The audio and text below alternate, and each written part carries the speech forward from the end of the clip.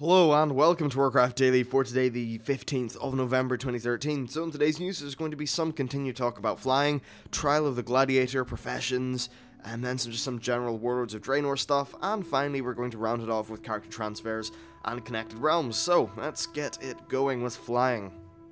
Now, as um, as I suppose sh- should be expected, there is a ridiculously large amount of discussion on this in the forums, and uh, it's a really great thing that we have blue trackers because it really helps me uh, put the show together every day. So basically, they said that they're not taking away flying, they're more just restricting it to after content is no longer the fresh new thing. And uh, this, of course, for them helps them, it just helps them know in what manner players will be experiencing that content. This means they can design around um, specific things about like where they think players will be, which is good. And uh, they did say that they are designing zones with ground travel in mind, so I'd imagine that there will be no more Dread Waste style issues. If you don't know what I mean by that, basically the Dread Wastes had a, a just a ridiculous mob density to the point where you'd always get murdered and it was not fun.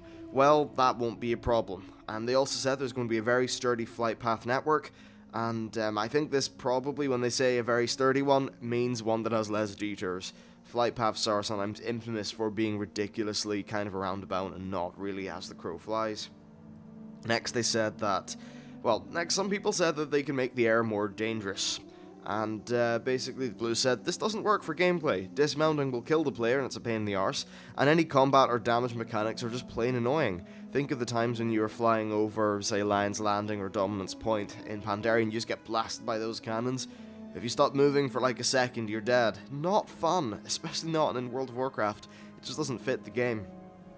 So yeah, oh, flying. This is this is a very ballsy decision on Blizzard's part, and they've made between this forcing Mythic, um, Mythic's raid size, and some other things. They really are making a lot of ballsy decisions. I, the thing is, like, they can design content to be way better because they know what way you're coming from and they can make more interesting decisions and things like that. So, yeah, just. Oh, well, This video is going to get tons of dislikes for me saying that, but fuck it, I'm going to do it anyway. Now, let's talk about Trial of the Gladiator. So, uh, some interesting stuff from Ghostcrawler and Holinka's Twitter.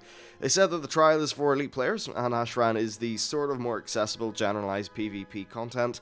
And later on in the forums, they said that you could still queue for Arena whenever you wanted, just as the Prestige award awards will only be awarded while you climb the ladder at appointed times. Now, of course, since there's no gear, I guess there's not really much of a point other than the fun of having this sort of normalized, balanced arena at the non-ladder times. They also said that they plan on, sorry, that they have no plans on removing the current system. The reason I thought this was worth mentioning is because Ghostcrawler and Holinka nearly made it seem as if uh, Arena is being removed in favor of Trial. It's not. Arena's still there. So it seems like if you want the regular gear-based PvP, you still have Battlegrounds, Ashran, and Arena. But if you want um, this sort of the PvP that has normalized gear, so everyone has got the exact same um, balanced gear, then you can do that whenever the hell you want for Trial of um, Trial of the Gladiator. But if you do it at certain times, then you'll start climbing up the ladder. The reason they're doing the certain times thing is to limit win trading and stuff like that, since I think some of the prestige awards and like the cool cosmetic things are probably quite nice, so they don't want people to be cheating their way into getting them. Next, um, let's talk about just some general Warlords of Draenor tweets and stuff like that. The four professions, they said that the overall slimming of the amount of gems and enchants in the game is uh, it's really just the quality of life change. They didn't like how when people got gear, they couldn't use it or it was just sort of useless and they had to jump through a whole bunch of hoops. And one of these hoops to jump through was gems and enchants, so they've made it so that there are less overall gem and enchant slots, but the actual gems and enchants themselves are a little bit stronger and probably more interesting. So uh, they said you, they can still, for the impact in the economy, they can still tweak the amount of drop rates for recipes and stuff like that. And basically, they can do a few different things, which means that if you can make money off one of these professions in Warlords or in Mists of Pandaria, then you will be able to in Warlords of Draenor. Next, for racials, they said there are no massive changes coming to racials, but they may tweak numbers. The hidden expertise ones will, of course, be replaced with new ones, and that's nice because it probably gives them a bit of a chance to replace them with something that fits the race a bit better. Hopefully, they do a little bit of tweaking to the troll and orc ones because I think in PvE, having things that are just a flat, you do better damage per second, not that great. So, yeah. Next for the Yak, they said they don't know what to put in the Yak vendor since they're getting rid of the Reforging guy on him. So, I'm going to throw this one to the floor. You guys, what do you think would be a cool idea to stick in that Yak? It'd be interesting to know. Anyway, let's talk about uh, uh, Connected Realms and character transfers. So, let's get to the transfers first. They said that the cost of transfers helps regulate them, and it prevents large overnight fluctuations. So if these things were like, I know, one pound each, which would be like a dollar fifty or two dollars, then it would just mean that like the population of realms would be all over the place. And because there'd be so much moving, this is in their head, I suppose. Because there'd be so much moving around the place, it would be hard to form the kind of cohesive communities, and things would just be kind of messy.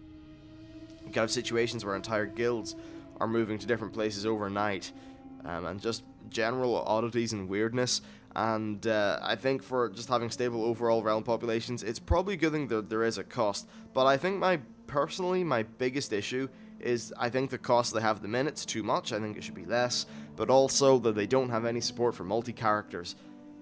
Um, I think that if you're moving to another server it should be $10 or like the, the fee should just apply to however many characters you want if it's to remain at this current price. I think it's, I don't actually I can't remember how much it is. It's ten pounds, fifteen pounds, something like that. Like if you are moving five characters, that's too much damn money. You can't move your characters. You are stuck in the realm you want to be. What if all your friends are playing in another realm, and uh, you want to move like your to your main characters because there's nothing on your previous realm? Tough shit. You have to pay a lot of money. I don't think that's at all fair. I maybe perhaps the first like ten dollar, the first X uh, amount of money that you put into the character transfer gives you uh, two characters, or maybe the second character or third character are a quarter of the price. But there needs to be something because the price should be subject to diminishing returns as you like transfer more and more characters because uh, like moving five, six, seven, eight things, it's ridiculous. It's crazy. It's too much money, and I think it's frankly a little bit anti. No, it's very anti-consumer. Very, very anti-consumer. It's just scumbaggy.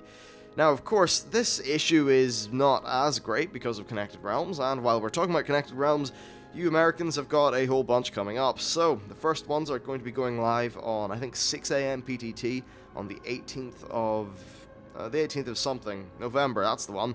These are Gorgonash being added to Bal Balnazzar and Warsong.